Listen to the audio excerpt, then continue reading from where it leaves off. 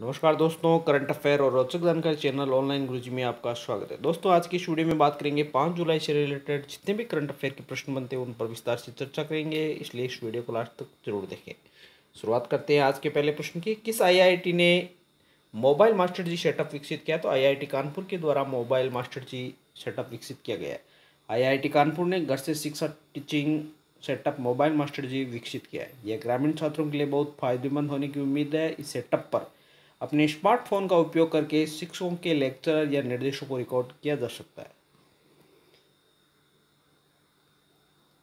अगला प्रश्न है आईसीएमआर के अनुसार भारत की पहली स्वदेशी कोरोना वैक्सीन कोवैक्सीन कब तक लॉन्च की जा सकती है? तो कोवैक्सीन पंद्रह अगस्त तक लॉन्च की जा सकती है।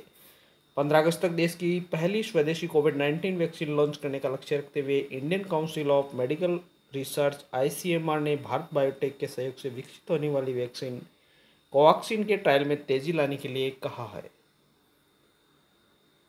अगला प्रश्न है, रूस में संविधान संशोधन की मंजूरी मिलने के बाद व्लादिमीर पुतिन कब तक रूस के राष्ट्रपति के पद पर रह सकते हैं? तो साल 2036 तक रूस के राष्ट्रपति के पद पर व्लादिमीर पुतिन रह सकते हैं।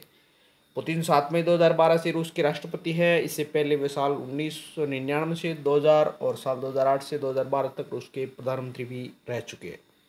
स्टालिन के बाद पुतिन के नाम ही सबसे लंबे कार्यकाल का रिकॉर्ड दर्ज है।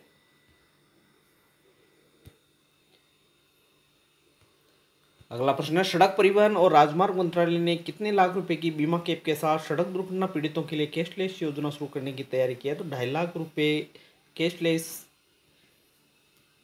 योजना को शुरू करने की तैयारी की है। सड़क सरकार सड़क दुर्घटना पीड़ितों के लिए जल्द नकदी रहित कैशलेस इलाज की सुविधा शुरू करने की योजना बना रही है। इसके तहत प्रत्येक मामले में अधिकतम सीमा ढाई लाख रुपए रहेगी। अगला प्रश्न है, इंडिगो ने हाल ही में कहा है कि वह 2020 के अंत तक डॉक्टरों और नर्सों को हवाई किराए पर कितने प्रतिशत की छूट देगी तो 25 प्रतिशत की छूट इंडिगो देने जा रही है। यह छूट 1 जुलाई 2020 से 31 दिसंबर 2020 तक यात्रा के लिए दी जाएगी। इंडिगो ने इस योजना को टप कुखी अभियान का नाम दिया है।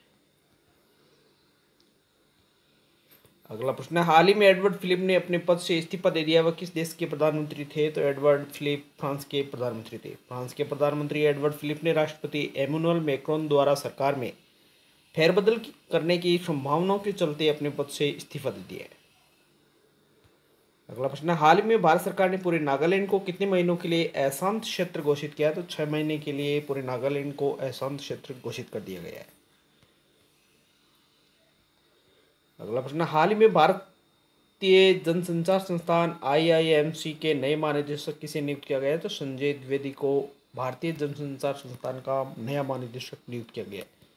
संजय द्विवेदी वर्तमान में भोपाल के माखनलाल चतुर्वेदी राष्ट्रीय पत्रकारिता एवं जन एवं संचार विश्वविद्यालय में रजिस्ट्रार के पद पर कार्यरत है।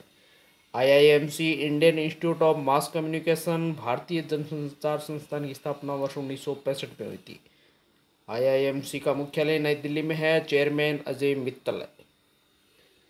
आईआईएमसी के अध्यक्ष के एस धतवालिया है।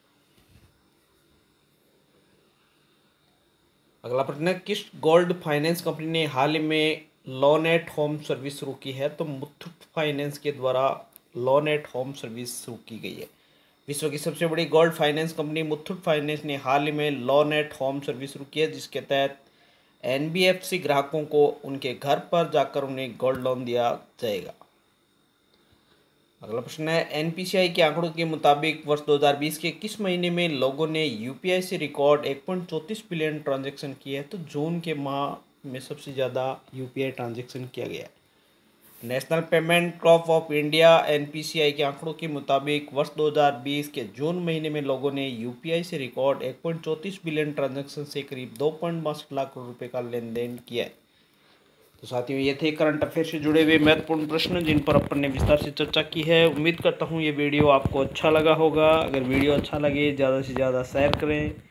लाइक करें, सब्सक्राइब करें और बेल आइकन को प्रेस कर दें ताकि वीडियो की लगातार नोटिफिकेशन आपको मिलती रहे। Thank you.